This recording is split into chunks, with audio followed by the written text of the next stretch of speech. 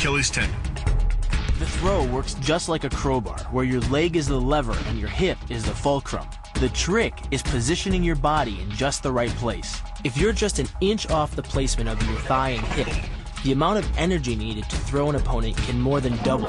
But performed correctly, Uchimata requires almost no energy. Yet it can deliver up to 5,000 pounds of force. If it weren't for the mat, a throw like Uchimata would be enough to cause serious injury or even paralysis. You use the strength of your legs to maintain your dominant position while you secure the choke. Just a few pounds of pressure on the collar of his gi is enough to reduce the blood flow to the brain to a trickle and end the match. Hold this move for 10 seconds and the fighter will black out. Hold it just a bit longer and he's dead. By bending the elbow across the fulcrum of your hips, you're subjecting the weak joint to the leverage of two strong forces.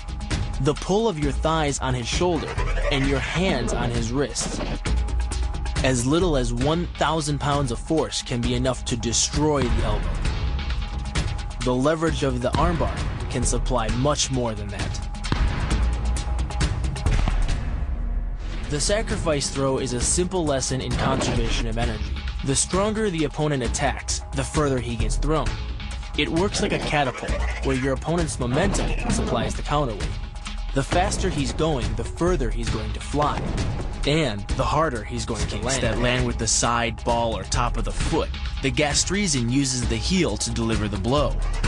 This alignment of the heel, ankle, lower leg complex channels some 2,000 pounds of force into the opponent. More than enough to break a baseball bat. The higher you can lift your opponent in this move, the faster he'll hit the ground.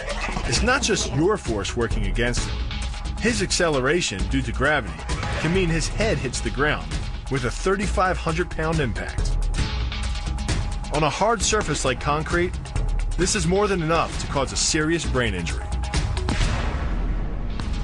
First, the opponent's arm works as a lever to optimize your control. Second, your own back serves as a pivot point for the throw. The strength and stability of your back allows you to throw a much heavier opponent than in a move that requires you to lift him. This move uses your opponent's arm as a lever working against him. The greater the torque on his shoulder, the greater the pain inflicted. And exceeding the joint's normal range of motion causes more than just pain. The soft tissue, muscles, and the bone can all be seriously damaged by this pressure. The goal of this lock is to stretch the tendons at the top of the foot to the breaking point. The strongest tendons have a tensile force threshold of just over 400 pounds.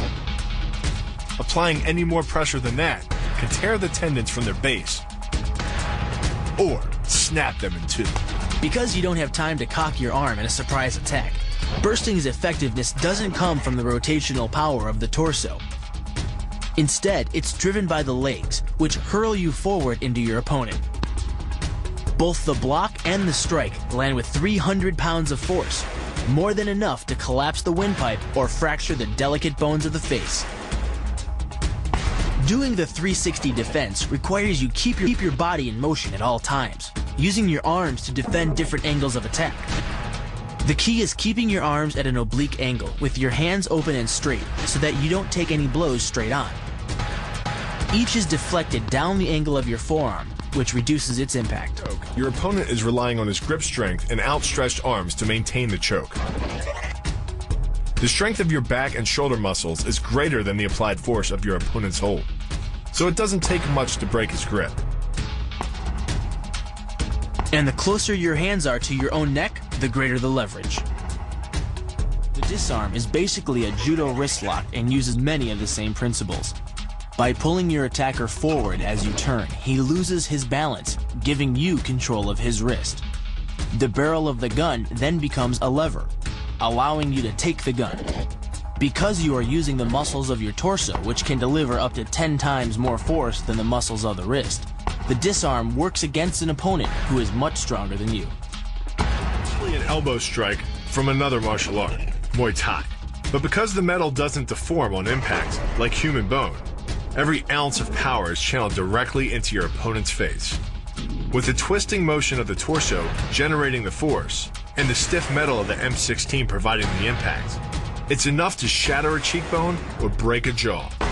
Combined momentum of your forward step, the twist of your torso, and the swing of the rifle, the butt stroke can strike your opponent at over 18 miles per hour, carrying well over 550 pounds of force.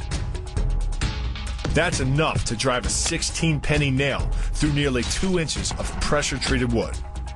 Add a follow up slash and thrust with a bayonet, and the butt stroke becomes a real killer.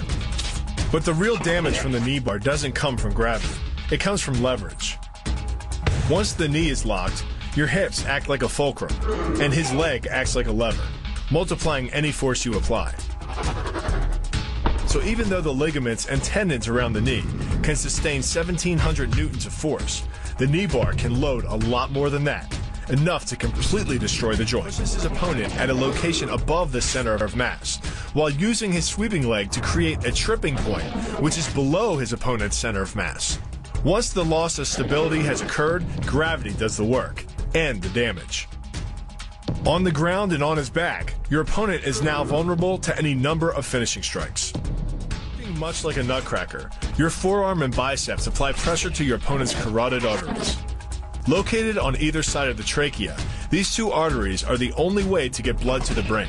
It can take less pressure than squeezing an orange to stop the flow of blood to the arteries. And with no blood flow, the brain shuts down almost instantly. Fight over. Control of your opponent's leg, you turn his hip into a pivot point. And there are two forces being imparted about the pivot point one by the arm above, and one by the sweep below.